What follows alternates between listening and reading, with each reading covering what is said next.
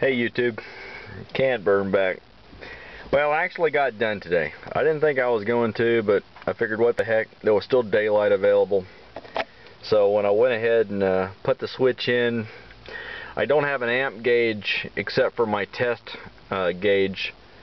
So basically, um, to set the initial mixture, um, I actually went by um, two things. Uh, number one, I didn't blow the fuses and number two, I kept the temperature in the fluid down to uh, around 110, 115 degrees um, from past experience and experimenting. That tells me I'm probably heated up. I'm probably running between 15 and 18 amps, and that's fine. But I thought y'all would like to see it running in the truck, so we'll crank the truck up, and uh, there's the switch.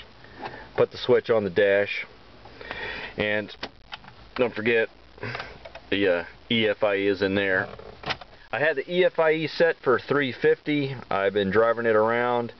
Um, it threw the engine light uh, when it hit 400. It hit 420, I guess, when I uh, romped on it, and I looked over at the test meter. Uh, when the uh, when the meter went up to uh, 400 millivolts, my check engine light flashed on, and uh, then when I went back down to cruise mode, about 10 seconds the uh, light went off. So there's my generator switch. Crank it up.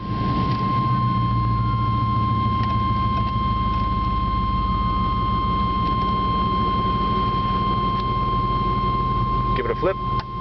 It's on.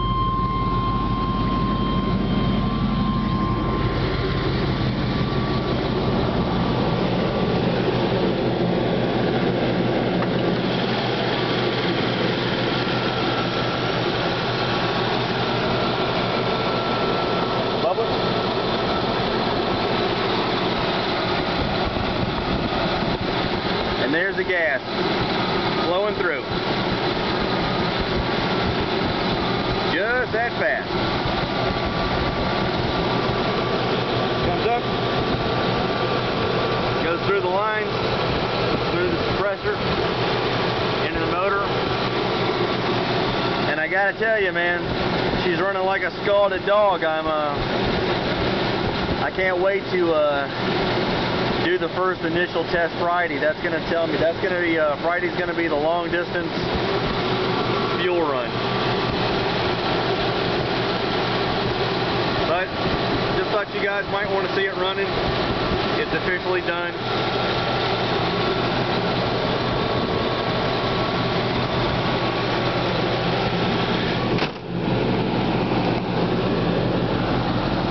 And that's it.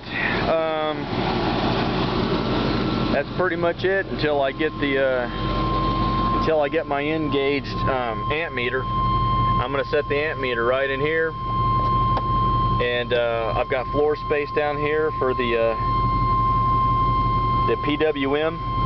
Uh, when I figure out uh, what type I'm going to get, and uh, once the PW is in, we're going to mount a little uh, plate for it to just to sit on, so it'll be in here. But I, am pretty much betting that for the PWM, most likely what's going to happen is I'm just going to buy it. Uh, we're going to hook it up to the engine, get the settings right, and then I'm going to mount it in the back of the truck, uh, back by the uh, CD changer. Because I can't really see myself flashing back and forth, you know, setting the thing continuously. Um, I don't have a lot of experience in them, so that's it. Just short little film. But uh, I'm done. The Hydro Super 2 is in. It's producing gas. Um, now we start the road tests. So until then, uh, hopefully I'll get a, um, I'll do a short tape uh, Saturday when I get back from the fire department and I, uh, I do my first run on gas. And uh, I'll let you guys know how it goes.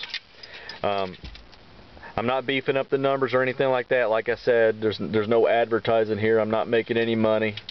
I'm just trying to uh, squeeze a little bit more mileage out of this old pig. And if I can uh, help somebody else out there who's got an older truck, then you've got the basic steps, folks. So I'll try to get another video out Saturday. Um, until then, have a good one.